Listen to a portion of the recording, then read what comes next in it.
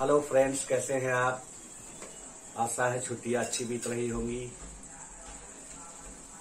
आज हमारे वीडियो के इस प्लेटफॉर्म का तीसरा चरण है और ये चरण इतना लंबा और जटिल है कि मैं ज़्यादा बातें न करता हुआ सीधा मुद्दे पे आना चाहूँगा। आज हमारी बातचीत याम थ्रेड के बारे में होगी, जिसे हम सामान्यतः हिंदी में धागा जानते हैं। यह फाइबर को ट्विस्ट करके और स्पिनिंग प्रोसेस के द्वारा तैयार किया जाता है। और इससे ही हम आगे फैब्रिक बनाने की प्रक्रिया को पूरी करते हैं। तो जिस धागे से हम सिलाई का काम करते हैं, उसको तो हम थ्रेड बोलते हैं और जो धागा बुनाई के काम में लाया जाता है, उसे हम यान बोलते हैं। इसका विस्तार बहुत ही ज़्यादा है, इसलिए हो सकता है दोस्तों ये वीडियो थोड़ा टाइम लेगा। लेकिन इस तरह की जानकारियों से परिपूर्ण वीडियोज़ को पाने के लिए मेरा रिक्वेस्ट है कि आप कृपया हमारे चैनल को सब्सक्राइब कर लें। और बेल आइकन दबाना ना भूलें ताकि समय से दूसरा वीडियो टाइमली आपके पास पहुँच पाए। तो चलिए आइए हम इसके बारे में विस्तार से जानते हैं। एक सेकंड एक सेकंड हमारा अगर हम यान के बारे में डिटेल में जानना चाहें तो बहुत ज़्यादा समय लगेगा क्योंकि इस विषय के बारे में जानकारियाँ बहुत ज़्यादा है और हम इस प्लेटफॉर्म पर सिर्फ़ बेसिक और कॉमन बातें ही करेंगे। तो सबसे पहले हम जाने कि धागा यान या थ्रेड है क्या? फाइबर या रेशा को ट्विस्टिंग और स्पिनिंग प्रोसेस के द्वारा धागे के रूप में बदला जाता है, जो सिलाई या बुनाई के कार्य में लाया जाता है। इस प्रोसेस में धागे के कई अलग अलग प्लाई को जोड़कर फाइनल रूप दिया जाता है। इस आधार पर हमें कई बार पूछा जाता है कि धागा कितने प्लाई का है। इसी तरह धागे को उसके ट्विस्ट के आधार पर भी जाना जाता है। अगर धागे का ट्विस्ट घड़ी की दिशा में, यानी क्लॉकवाइज हो तो उसे एस ट्विस्ट बोलते हैं। और जिस धागे का ट्विस्ट घड़ी की उल्टी दिशा में हो, यानी एंटी क्लॉकवाइज हो, उसे जेड ट्विस्ट कहते हैं। घने क्रिंकल वाले फैब्रिक में हम हाई ट्विस्ट धागे का प्रयोग करते हैं, जिससे क्रिंकल का निर्माण होता है।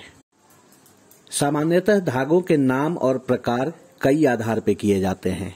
पहला, प्रयोग में लाए गए कंटेंट के आधार पर जैसे कॉटन यान, वुलन यान, सिल्क यान, सिंथेटिक यान आदि दूसरा, यान को हम उसके नंबर ऑफ़ प्लाईज के आधार पर भी जान सकते हैं, जैसे single ply yarn, two ply yarn, three ply yarn आदि। तीसरा, यान को हम उसके ट्विस्ट के आधार पर भी जान सकते हैं, जैसे S twist yarn, Z twist yarn, high twist yarn आदि। इसी प्रकार चौथे प्रकार में हम देखें तो धागे को कॉम्ड और कार्डेड यान के नाम से भी जाना जाता है। कार्डेड यान का स्ट्रेंथ यानी मजबूती कॉम्ड यान से कम होता है। साथ ही इसमें बारीक फाइबर यानी हेयरनेस यानी फाइबर बबल या रुए की शिकायत भी ज़्यादा होती है। फाइनली हम कहें तो कॉम्ड यान की गुणवत्ता कॉडेड यान की अपेक्षा ज़्यादा होती है। पांचवा, ब्लेंडेड यान। इस यान को विभिन्न प्रकार के साइज़, ओरिजन, थिकनेस आदि के फाइबर को मिलाकर बनाया जाता है, जैसे poly cotton blend yarn cotton viscose, blend yarn आदि। छठा प्रकार होता है नोवेल्टी यान। धागे बनाने की प्रक्रिया में यदि कोई स्पेशल इफ़ेक्ट को डाला जाए तो उसे नोवेल्टी यान बोलते हैं। जैसे आपने देखा होगा, कई यानों में स्लब होता है। स्लब यान, यानी यान विथ स्लब्स इस प्रकार के यान को हम नोवेल्टी यान बोलते हैं। सातवां प्रकार है टेक्सचर्ड यान। धागे के स्ट्रक्चर को रफ करके कट लगाकर या डिफरेंट इंटरवल देकर या ट्विस्टिंग देकर एक संरचना उभारी जाती है, इसे हम टेक्सचर्ड यान कहते हैं। आठवां प्रकार है रिसाइकल्ड यान। रिसाइकल के द्वारा हम प्लास्टिक आदि जैसे वस्तुओं से रेशा तैयार कर उन्हें अन्य फाइबर से ब्लेंड करके धागा बनाते हैं। इस तरह से विज्ञान के द्वारा हमारे पर्यावरण की सुरक्षा भी की जा रही है। नवा प्रकार होता है, यान को हम उसके काउंट के द्वारा भी जान सकते हैं। काउंट एक्चुअली यान के एक मानक को तय करती है मेज़रमेंट ऑफ़ यूनिट है। काउंट अपने आप में एक बहुत ही जटिल प्रक्रिया है। अतः इसके बारे में हम विस्तार से बातें करेंगे अपने अगले सेशन में। दसवां प्रकार है ऑर्गेनिक यान इस प्रकार का यान उन नेचुरल फाइबर से तैयार किया जाता है, जिनमें किसी भी अवस्था या चरण में किसी प्रकार के सिंथेटिक या रासायनिक उत्पाद का प्रयोग नहीं किया जाता है। साथ ही इसमें किसी प्रकार रासायनिक कीटनाशक का ही प्रयोग नहीं किया जाता है। इस प्रकार हम समझ सकते हैं कि इस धागे से बना हुआ फैब्रिक, यानी ऑर्गेनिक फैब्रिक हमारे स्किन के लिए बहुत ही अच्छा और फ़ायदेमंद होता है।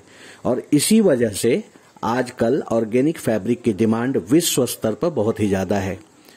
तो दोस्तों, आज हमने धागे के बहुत सारे प्रकारों की चर्चा की, फिर भी अभी बहुत सारा बाकी है। और आज के विज्ञान के युग में नित नए नए अनुसंधानों के द्वारा नए नए प्रकार के धागों का आविष्कार किया जा रहा है। दोस्तों, अगर आप इस फ़ील्ड में रुचि रखते हैं और इस गारमेंट इंडस्ट्री की दुनिया में आगे बढ़ना चाहते हैं तो एक बात ज़रूर याद रखें कि जब भी आपके सामने कोई धागे का नया प्रकार आए तो कुछ समय, कुछ रिसोर्स लगाकर उसके बारे में पूरी जानकारी जुटाएँ और अपने अनुभव के रूप में सहेजें। निश्चय ही धीरे धीरे इकट्ठा हुआ यह अनुभव आपको बेशक महसूस न हो, पर भविष्य में आपके बहुत काम आएगा। तो चलिए दोस्तों, आज बहुत सारी बातें हो गई। अब शब्दों को विराम देते हैं। अगले सेशन में फिर मिलेंगे। काउंट की डिटेल्ड जानकारियों के साथ। तब तक के लिए बाय बाय